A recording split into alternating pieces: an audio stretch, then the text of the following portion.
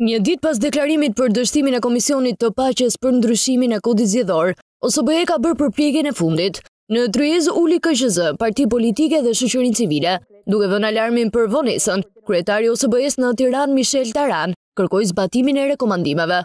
Këto sfida mund t'i tejkalojmë vetëm me anë të bashkëpunimit, dialogut të hapur dhe përmirësimit të vazhdueshëm.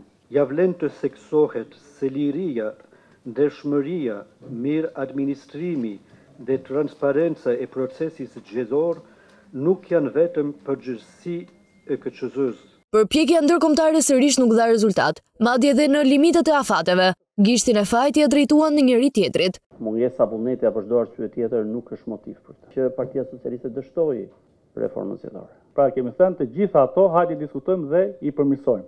Por që në fillim ka qenë jo o fillon nga koalicionet o ne nuk diskutojmë asgjë. Atëherë këtu nuk quhet më dialog, por këtu Që në fillim, Partia Demokratike e ka dështuar këtë tryezë. Mes luftës së politikës, kryetari i KQZ-së tha se pret verdiktin për organizimin e zgjedhjeve.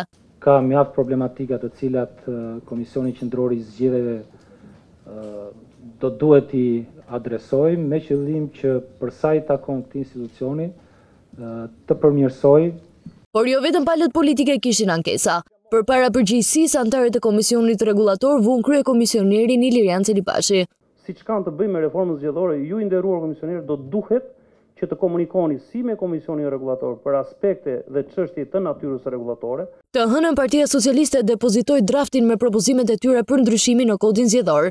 Në amendamentin e Partisë Socialiste vota e diasporës do të administrohet nga KQZ, ndërsa kanë rishikuar dhe herësin, por duke mos vendosur lista tërësisht të hapura.